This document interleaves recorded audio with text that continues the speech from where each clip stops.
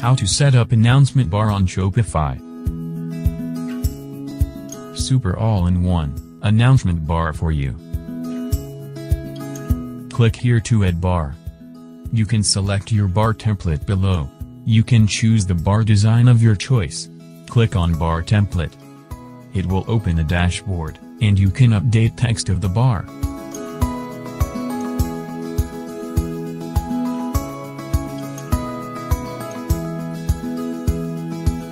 You can see the advanced settings here.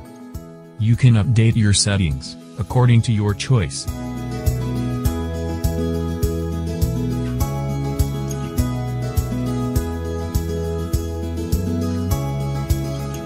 After your settings, click the update bar. You can see bar created successfully. Then go to the view page.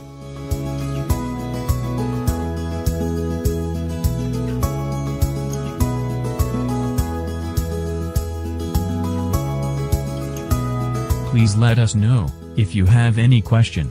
Contact us, info at AAAwebstore.com.